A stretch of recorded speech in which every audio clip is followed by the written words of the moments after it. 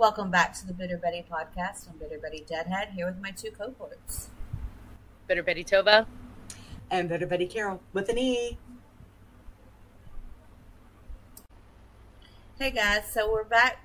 Um, this is something a little different. We've been discussing behind the scenes about uh, hip hop, and we've talked to a few of our other reactor friends, and we decided that we wanted to do a little history lesson for ourselves, and mm-hmm. we thought we would record it on a little bit about hip hop. So we hope you guys enjoy this. You ladies got anything to say? Add? Well, yeah. In particular, like we were having a conversation um, with uh, some other reactors um, in the in the reaction community, um, and I've always liked hip hop, but never really had an understanding of like the actual hip hop culture itself. Right? I've always just I like the music, so I listen to the song. It has a good vibe. I can vibe along with. Like I like a lot of rap music, but I don't understand a whole lot of when somebody says like I understand more now. Like when someone says a bar, right? But I want, mm-hmm. but what makes it a bar? What what is different cadence or like I understand flow, like as in like, but I want to know the technical components behind like what's actually happening in hip hop. So, um, and yeah. then how you put together a hip hop song because I like the genre so much that I figure, you know what, even though I'm 46 years old, maybe it's time to understand a little more about the music that I actually love so much. So, yeah, absolutely. Yeah, and I love that we're kind of starting with like the birth of hip hop, like the history of it, where it comes from, and then kind of a dive deep and uh, deep dive into, you know, what hip hop culture really is all about. And i think you know when you have an understanding for it you have a better appreciation for it. And you know the more you know. So yeah. i'm excited for this. I am too. Y'all ready? Yeah absolutely. In August 1973, a young Jamaican born New Yorker known as DJ Kool Herc threw a party in the South Bronx. With a pair of turntables, he improvised a technique that isolated and re repeated musical breaks and repeated musical breaks. That technique would lay the foundation for a genre known as hip hop. Hip hop music emerged from house parties in the Bronx and spread like wildfire between friends and neighbors at block parties. The new sound was electrifying. In the schoolyard during recess, someone would have a boombox. And then someone would start rhyming. You didn't have recorded versions of hip hop at that time. Within a few years, it had become an underground cultural movement, and its distribution was homemade. You couldn't hmm. purchase albums or records, and you couldn't hear hip hop on the radio. The only way that you could participate in the culture musically was through these cassette tapes, which would circulate all throughout the city. As its influence deepened and broadened, the music spread from the underground onto the radio. In 1979, a group from suburban New Jersey released Rapper's Delight, one of the first yeah. hip hop records. Now what you hear is not a test. I'm rapping to the beat. I remember that. And me, the groove, and my friends are gonna try to move your feet. And the Sugarhill Gang's hit was just the yeah, beginning. The As hip hop yeah, evolved, it became a passion shared by millions of young Americans who used it to articulate their identity and their politics creating a vibrant, multicultural community across the country. Our generation of young people, we had to find new ways nice. to communicate. You know, just getting yeah. on the records and speaking about the truth. Its lyrics reflected the social and economic conditions of the inner cities as seen through the eyes of the people who lived there. Don't push me, cause I'm close to the edge. I'm trying not to lose my head. Say what? It's like a jungle sometimes. It makes me wonder how I keep from going under. I think it was Chuck D who said, you know, it's the CNN of the black community. It's actually reporting on all of these things that we've experienced in poetry form and musical form.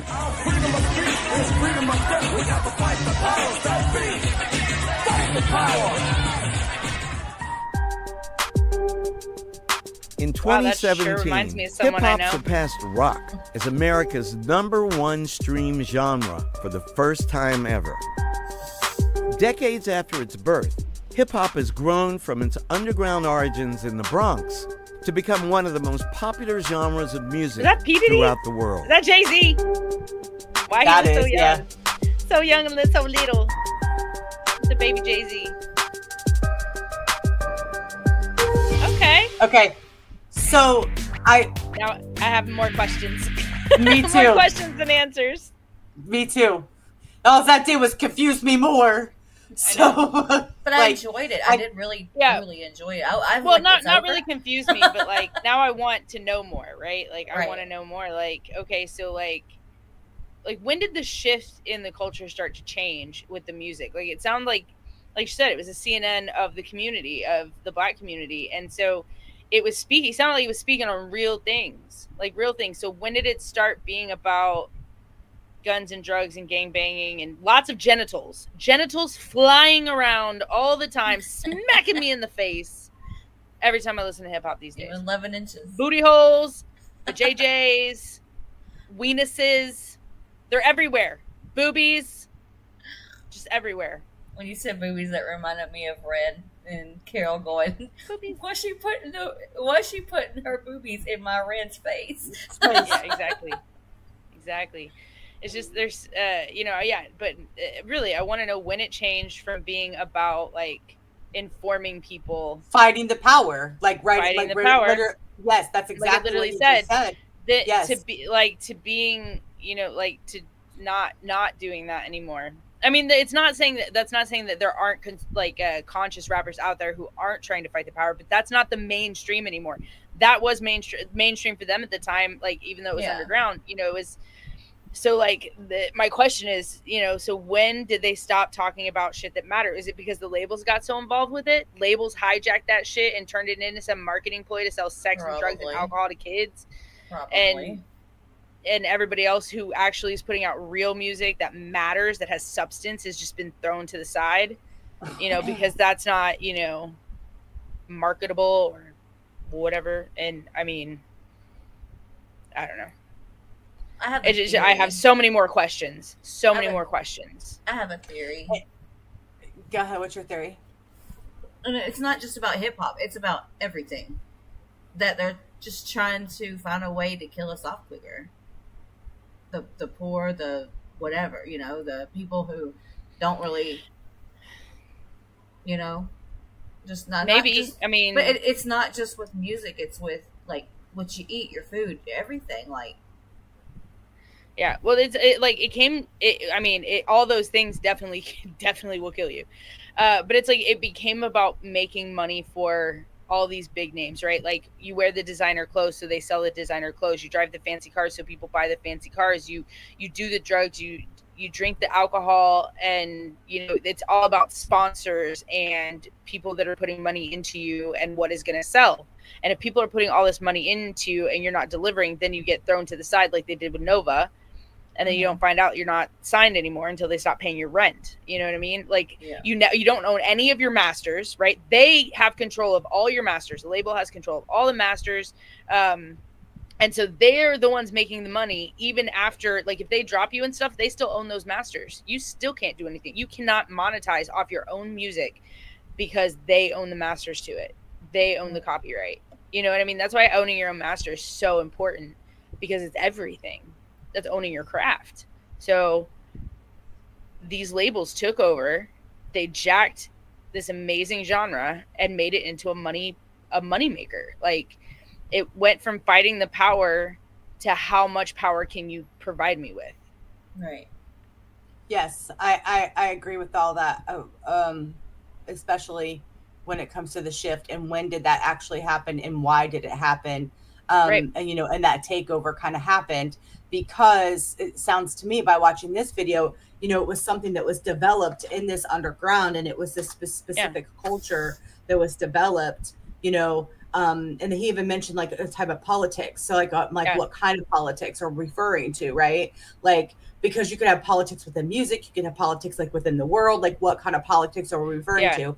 Like, and, and my thing is wanting to understand the actual culture behind it, right? Mm-hmm. Like, the actual hip hop culture. And then I want to understand. And so if anybody's watching this and could lead me to a video that would help me understand like the actual development of the culture itself, like what makes hip hop this culture, right? Yeah. Like I, I, want those answers. Like what makes it this culture? Like yeah. it can't be because it just is. Okay, but what is it about? Like yeah. what is it makes it the like this a culture. Yeah, like how And did it then- develop?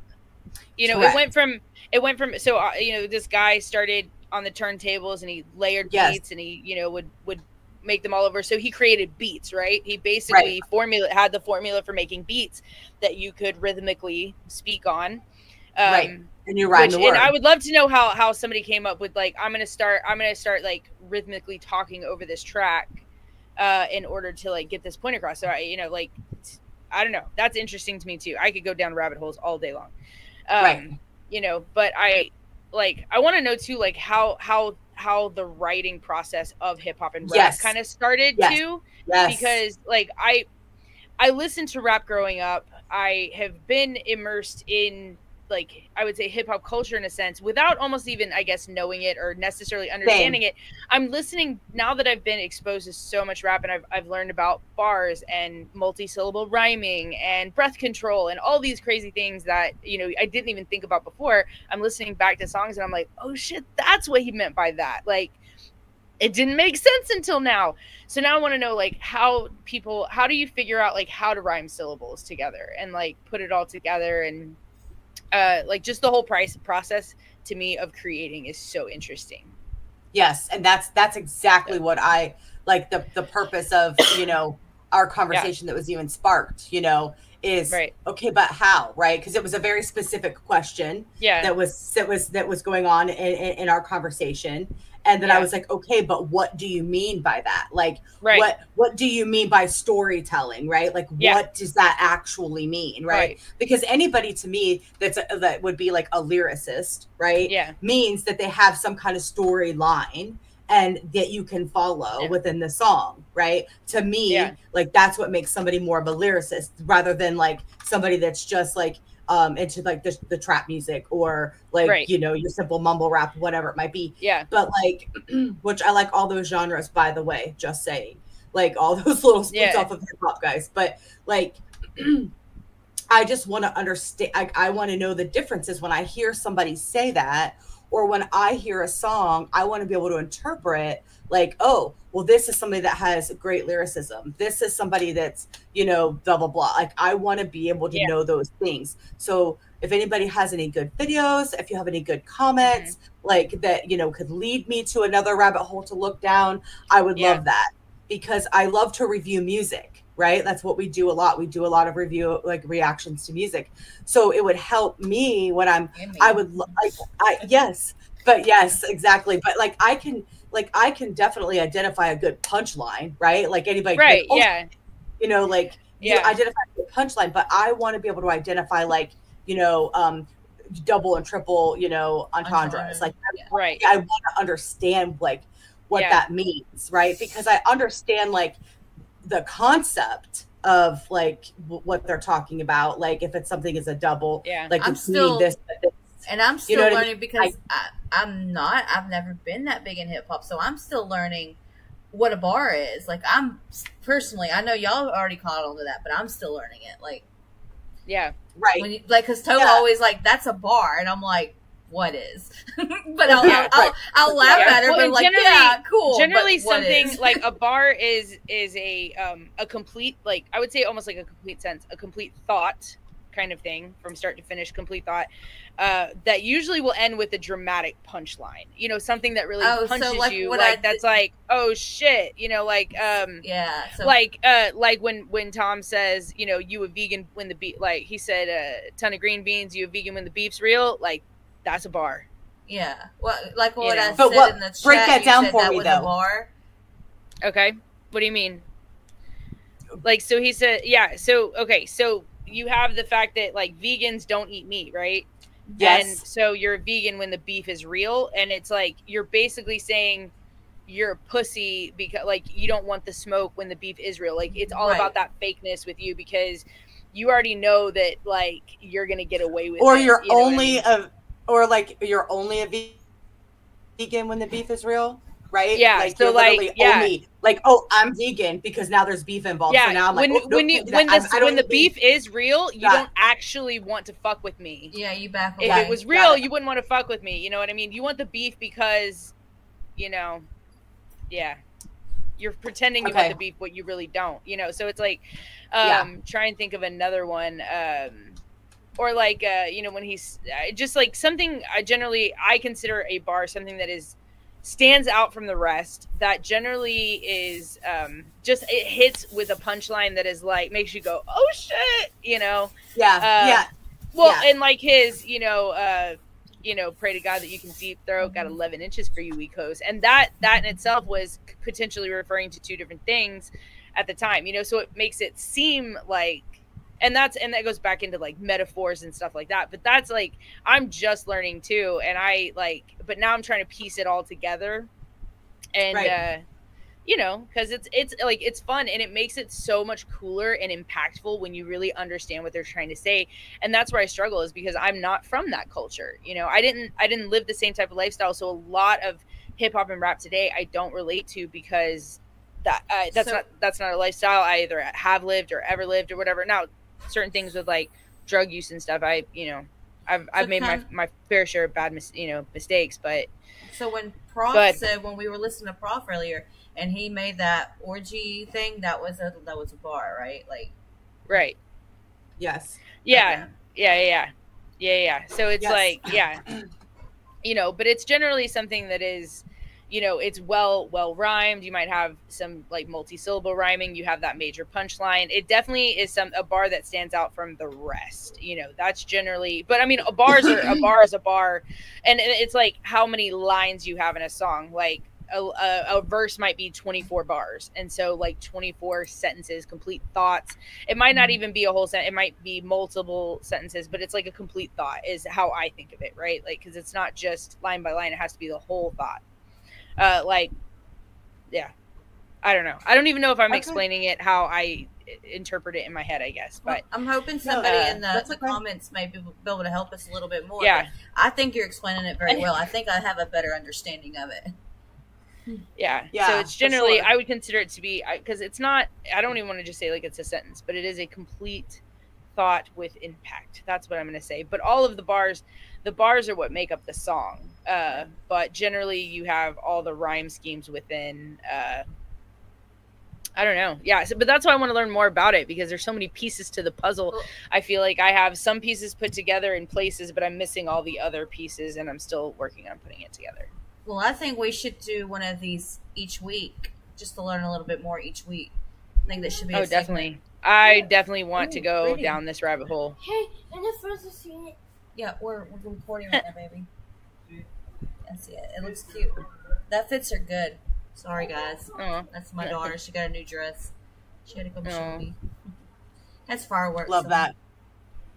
yeah. Well, yeah, I think that's definitely a good idea, and um, and then maybe at some point, like as we're doing our education here, um, maybe we could get some of our uh, other reactor friends and do a whole segment with everybody. You know, that Yeah, might that'd be a little, really co- cool. like educate ourselves a bit more, and then like have them all come in. You know, and for Yeah. for like Yeah. our follow up questions. You know, I think Yeah. that that would be um, I yeah, think very have- interesting to do in the next couple weeks. I really think because I know that gimmick is gimmickless is really passionate about this. I think he would be excellent to be on for this stuff. Yeah, for sure. Yeah, I would love to. Yeah. I'd love to. So, Yeah. All right. Well, that was awesome. If you guys have anything that you could suggest down below, that would be uh, that would be great. And you know, explain in detail to Tova because she'll help break it down to us that are a little bit, you know, We're a Need little to- slow need when it comes to this stuff. Like I'm, we I'm- need a little, little more layman's terms. my smarts are not with this stuff. No, but that's what. But you know what?